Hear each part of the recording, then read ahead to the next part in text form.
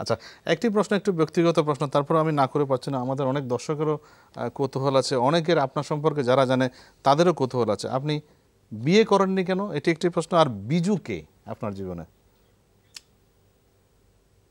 এটা একটা আমার জন্য খানিকটা বিব্রতকর প্রশ্ন কিন্তু কেন জানি আমার ভাগ্যটাই এরকম কিনা।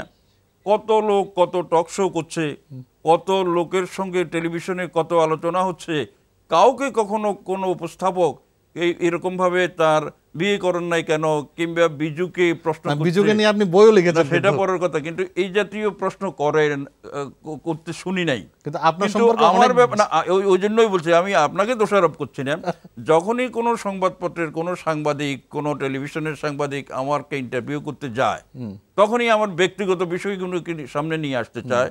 এবং প্রায় কেউ বাদই দায়িত্ব দিতে চায় না বিয়ে করেন নাই কেন বা বিজুর ব্যাপারটা কীরকম ছিল আরও আছে। ব্যক্তিগত বিষয়ের দিকে যায় বেশি। আপনি উত্তর না দিতে চাইলে কোনো আপত্তি নেই। নিশ্চয়ই উত্তর না দেওয়ার কোনো বিষয় না কিন্তু উত্তর অনেকবার দিয়েছি। আচ্ছা।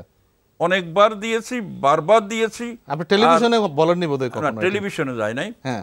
এখন না আমার নিজের থেকে আমি চিন্তা করি যে অন্য কাউকে তো কেউ এরকম ব্যক্তিগত প্রশ্নের দিকে যায় না। জাতীয় জীবনের হাজারো সমস্যা আছে অন্যরা তো আর জয়নাল হাজারি না। আপনি হচ্ছেন অনেকের। আকর্ষণের বিষয়। তো কাউকেই তো করেন না। তবু আমি আপনি করেছেন আমি একেবারেই অসন্তুষ্ট না। একটা হচ্ছে বিয়ে করি নাই আমার কথা রাখার জন্য। কার কাছে?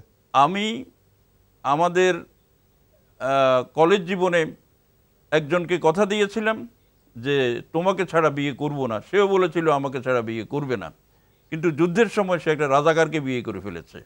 এখন সে কথা রাখে নাই আমি রেখেছি রাখতে চাই সারা জীবন। কে সে এটা কি বলা যাবে? নামটা বলেই দিয়েছেন আপনি বিজু।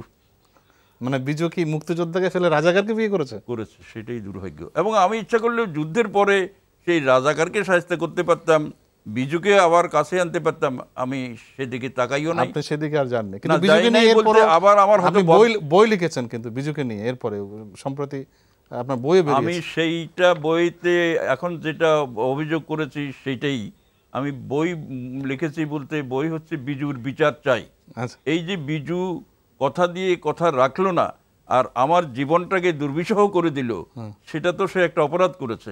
সেই জন্য তার বিচার হতেই পারে বোধহয় আচ্ছা আমাদের সময় একেবারে শেষ। এক বাক্যে কি বলবেন যে আপনি কি ফেনীতে আবার রাজনীতিতে সক্রিয় হবেন?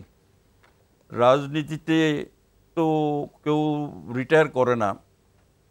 এই জন্য রিটায়ার এখনও যেহেতু করি নাই এবং আমার দৃঢ় বিশ্বাস সকল লোক সব সময় বলে আপনি যে অবস্থায় যেভাবেই থাকেন না কেন তার প্রেক্ষাপট কিছুটা রহস্যজনক হলেও নেত্রীর বিশেষ করে শেখ হাসিনার আপনার প্রতি না না শেখ হাসিনার ব্লেসিংস আপনার প্রতি ভীষণ রকমের আছে এবং আপনার যে কোনো পরিস্থিতির জন্য কখনোই শেখ হাসিনাকে দায়ী করবেন না কারণ শেখ হাসিনা আপনার প্রতি ভয়ানক রকমের আন্তরিক সুতরাং যেহেতু রিটায়ার করি নাই এবং আবারও ইঙ্গিত পেলে রাজনীতিতে যাব রাজনীতির দিকে গিয়ে আমার একটা চমক সৃষ্টি করার শেষ না শেষ করছি। চমক সৃষ্টি করার একটা ইচ্ছা। আচ্ছা, আমি রাজনীতিতে গেলে আমি এখনই বলে রাখছি আল্লাহ রহমতে আমাকে কেউ পরাজিত করতে আচ্ছা, পারে নাই আগেও। এখনও পারবে না আমি খালেদা জিয়ার সঙ্গে কন্টেস্ট করতে আচ্ছা, চাই এবং সেটা করে তাকে পরাজিত করে আমি প্রমাণ করতে চাই। এবং বাংলাদেশের রাজনীতিতে একটা ইতিহাস সৃষ্টি করতে চাই। এই এই সুযোগটা জন্য আমি শেখ হাসিনার কাছে আপনার মাধ্যমে আজকে অনুরোধ করি। আচ্ছা, আচ্ছা। আমি অন্য কোথাও না আমাকে ফেনি একের আচ্ছা, আচ্ছা। নমিনেশনটা দেন। আমি একটা